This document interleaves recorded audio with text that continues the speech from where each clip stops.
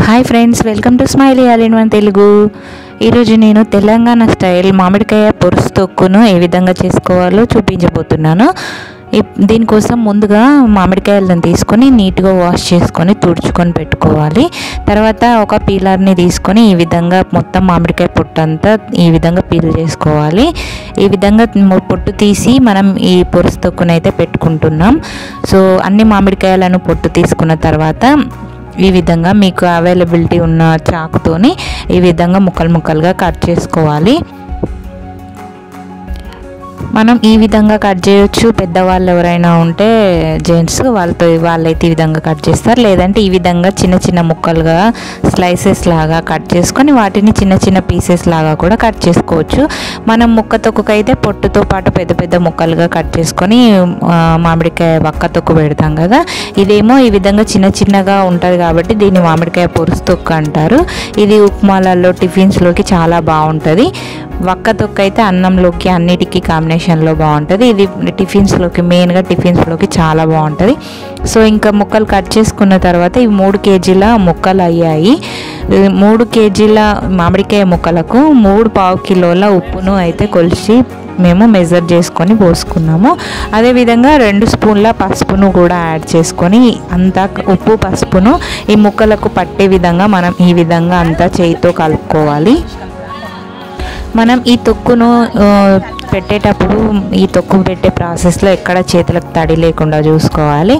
ఇంకా అది మనం పక్కన పెట్టుకొని ఆవాలు అలాగే జీలకర్రను కొద్దిగా వేయించుకోవాలి. ఒక రెండు నిమిషాలు అటు ఇటుగా వేయించుకుంటే మనకు ఆవాలు జీలకర్రను చల్లారబెట్టుకున్న తర్వాత జార్లో వేసుకొని ఈ విధంగా పొడి పట్టుకోవాలి. అలాగే ఎల్లుల్లి వెల్లుల్లిపాయలు వెల్లుల్లిపాయలు మనం టేస్ట్కి తగినన్ని వేసుకోవచ్చు.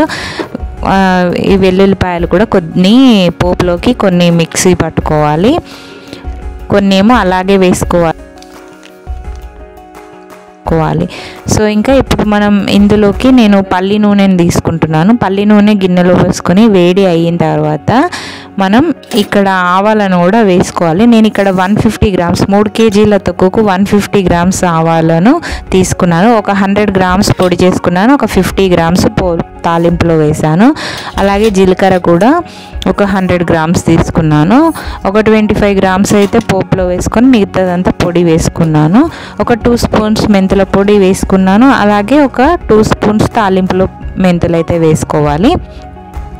మనం పొడులు కలపడం పొడులు కలిపినా కూడా మనం తాలింపులో ఇవైతే వేసుకోవాలి. మనకు టేస్ట్ చాలా బాగుంటుంది.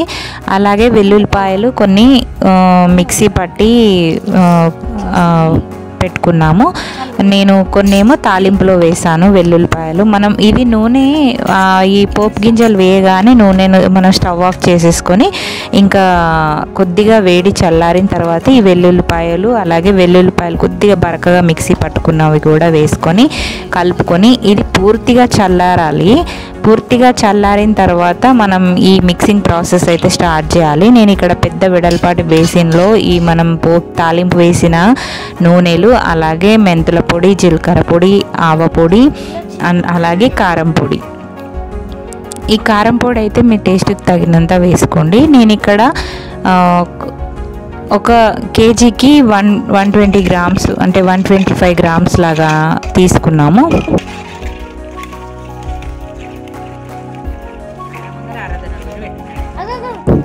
ఇది పట్టించిన కారం కాబట్టి కొంచెం స్పైసీ ఉంటుంది కాబట్టి కొంచెం తక్కువే వాడుతున్నాము.